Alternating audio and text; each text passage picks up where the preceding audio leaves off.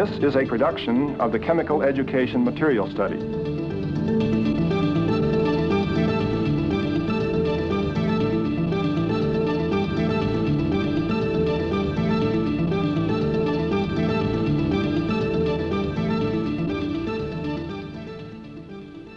Two-thirds of the Earth's surface is covered with water. And the present and former oceans are an important source of many water-soluble chemicals. Table salt, bromine, and magnesium, all as ions when in the ocean, are examples. The existence of water on Earth, predominantly in liquid form, yet able to freeze to ice, to vaporize to give clouds and rain,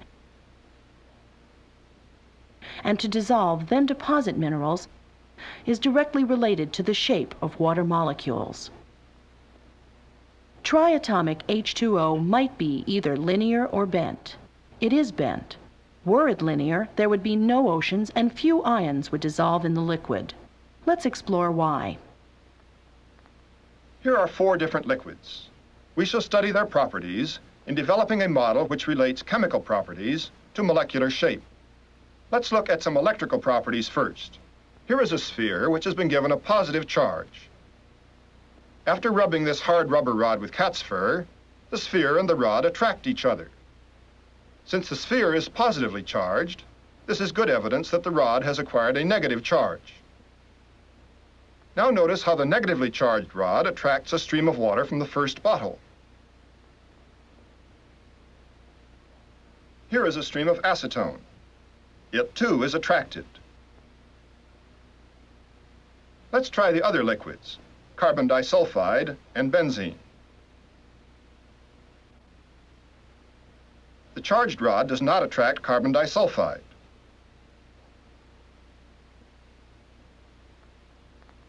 Nor does it attract benzene.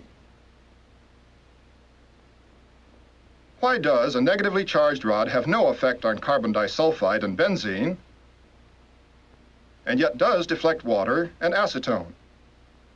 Is it possible that the streams which are deflected are charged positively and the others are electrically neutral? If this is true, a positively charged rod should repel the deflected stream. Let's try. A glass rod rubbed with silk repels the positively charged sphere. The glass rod must bear a positive electric charge. Will this positively charged rod repel the water? That's strange the stream is attracted just as it was by a negative charge. Let's try the other liquids. The acetone is also attracted, just as it was by the negative rod. Here is carbon disulfide. No effect from the positive charges. This is the same result as with a negative charge. This is benzene.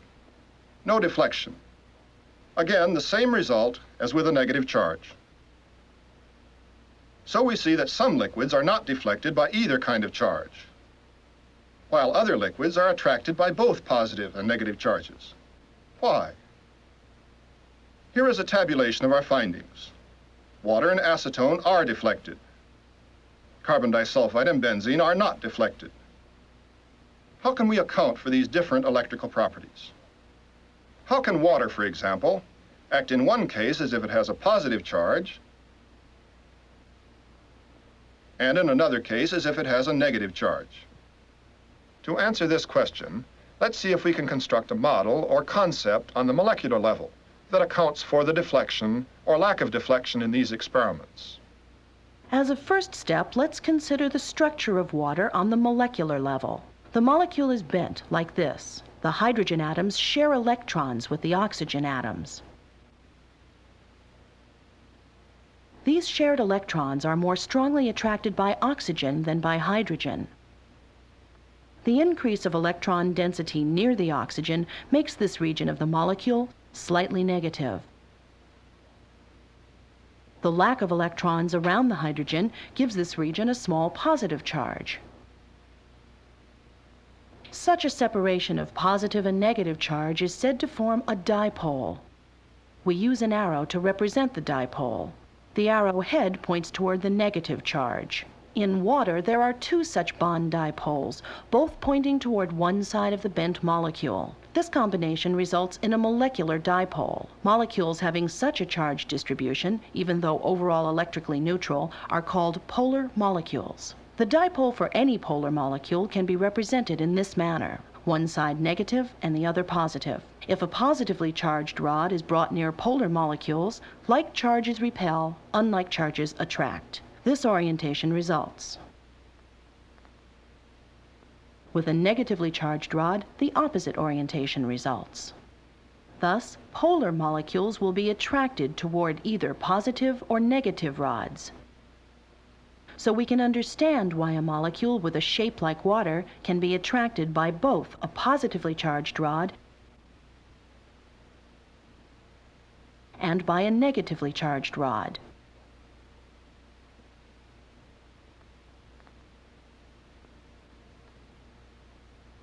Now let's see if our model applies to the behavior of our other deflected substance, acetone.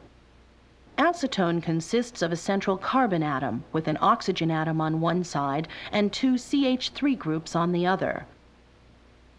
Because the oxygen atom has greater attraction for electrons than does carbon, one side of the molecule is negative, the other side is positive. Therefore, acetone has a net dipole and is a polar molecule. Thus far, we have accounted for the behavior of water and acetone. Now let's see if we can account for the behavior of the non-deflected substances. We'll begin with carbon disulfide.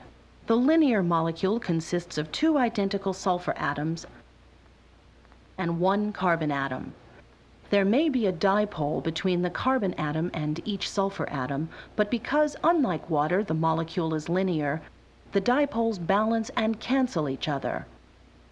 Such a molecule is called nonpolar. We recall that a polar molecule has a separation of charges, which causes the molecule to align itself toward our charged rod. In a nonpolar molecule, there is no unbalanced distribution of charge, so there is no strong interaction with a charged rod. Let's consider the charge distribution in the other non-deflected molecule, benzene, C6H6. Because of the highly symmetrical shape, any bond dipoles in this molecule also cancel each other. Thus, benzene too is non-polar. So we see that bond polarities and molecular shapes determine whether molecules are polar or nonpolar. To test our model of molecular dipoles, let's see if we can predict the effect of shape on the polarity of molecules. Here are two forms of dichloroethylene. One is called cis-dichloroethylene. The other is called trans-dichloroethylene. They have the same formula, but their structures are different. How will their differences in structure affect their behavior?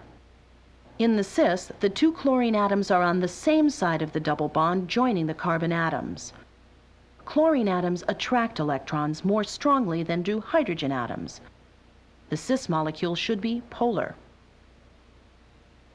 In the trans-dichloroethylene, the chlorine atoms are on opposite sides of the double bond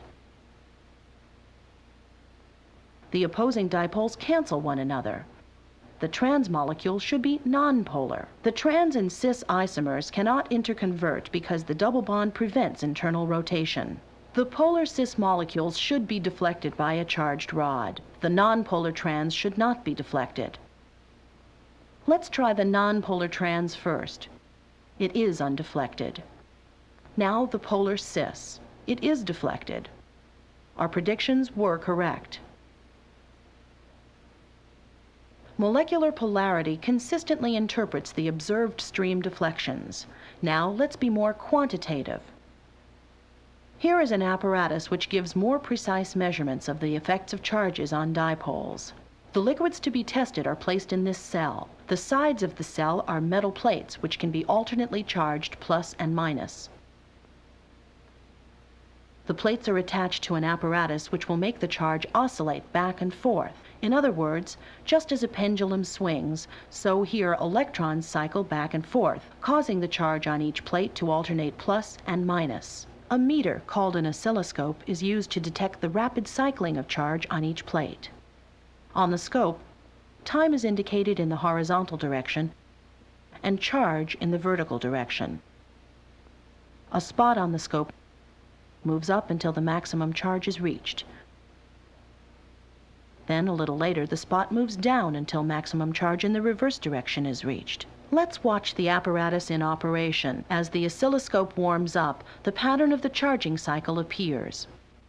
Nonpolar trans-dichloroethylene is in the cell. We see the tracing spot as a continuous curve on the scope. The flow of electrons reverses direction many times per second.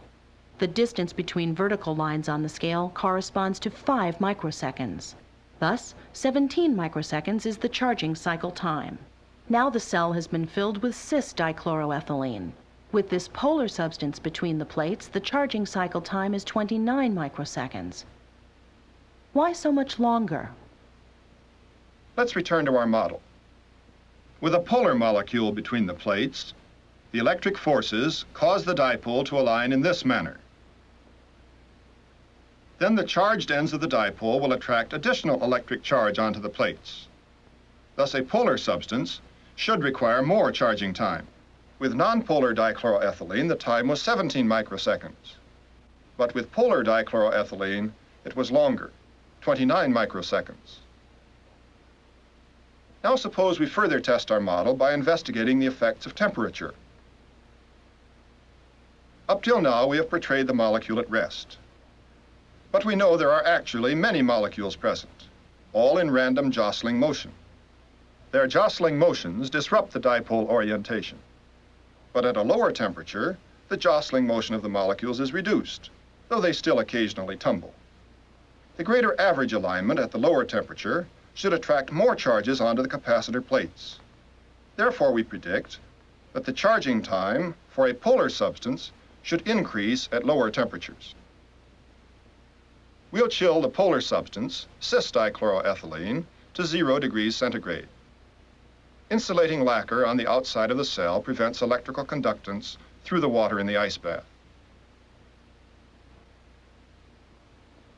As the cis cools, the charging time does increase.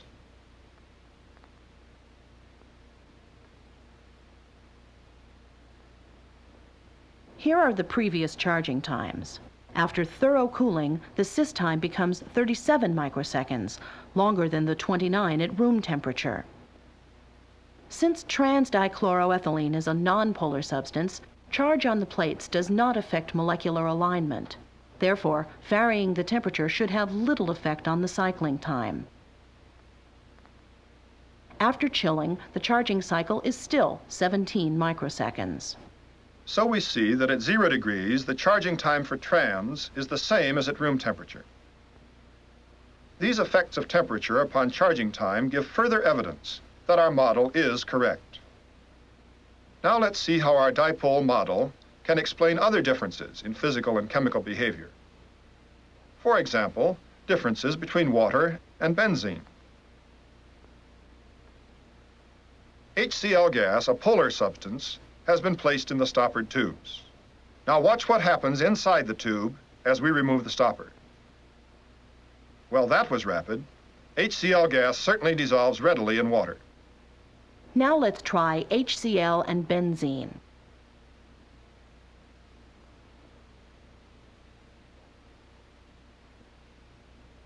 Quite a contrast.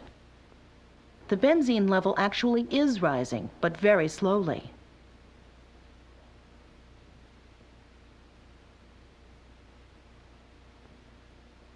Here is the level about five minutes later and here about 15 minutes later. Some HCl never does dissolve. Let's drain out the two solutions and compare some of their properties.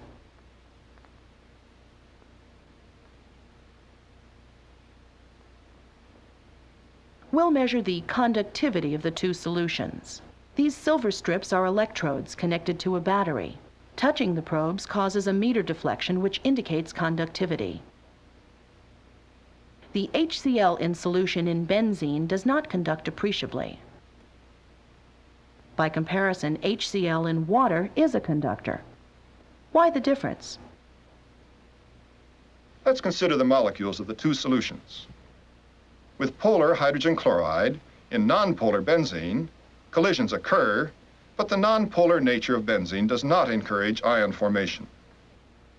However, when a polar hydrogen chloride molecule and a polar water molecule collide, reaction can occur. The surrounding water dipoles hydrate both ions, forming aqueous hydrogen ion and aqueous chloride ion. The resulting ionic solution is a good conductor. Note the orientation of the dipole arrows. The orientation around the positive hydrogen ion is opposite from that around the negative chloride ion. Since HCl is present in water as ions and in benzene as neutral molecules, we might expect the chemical behavior of the two solutions to be different. Let's test the reactions to magnesium metal. First, the solution of unionized HCl in nonpolar benzene. It produces no visible reaction. Now, the ionic solution of HCl in polar water. Well, that's different, all right. A gas forms, a gas which is found to be hydrogen. The hydrated ions in the polar water react rapidly. The unionized molecules in the nonpolar benzene do not. Ions hydrate in polar water for the same reason that water is attracted by a charged rod, regardless of whether it is negative or positive. Polar molecules can align either way. Likewise, the concept of polarity correctly predicts and interprets the effect of temperature on dipole alignment. Our dipole model also correlates differences in solvent properties.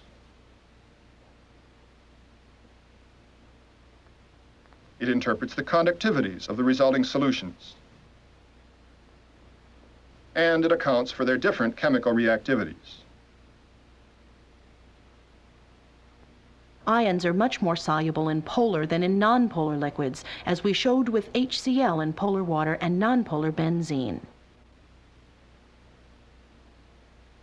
So falling streams of polar liquids may contain many more ions from traces of impurities, from the atmosphere, even from their containers, than would the non-polar liquids. Hydrated ions provide an additional mechanism by which the streams are deflected by a charged rod. In the presence of a charged rod, the ions move to produce a large charge separation and a large deflection. In fact, the presence of ions can cause a larger effect than does the polarity alone. A knowledge of the shapes and polarities of molecules is a powerful tool for interpreting the chemical properties and reactivity of substances. Polar water molecules not only attract and surround ions to make our seas salty. Polarity also causes strong attractions among the molecules of pure water. Consequently, liquid water boils at 100 degrees Celsius and freezes at 0 degrees Celsius, both higher values than found for less polar substances with molecules of similar size. Hence, we have oceans, lakes, rivers, rain, snow, and ice, all held together by polar forces. Were water molecules linear and nonpolar, we would probably have only gaseous water at the surface of the Earth. Perhaps you'd like to discuss why this would be so.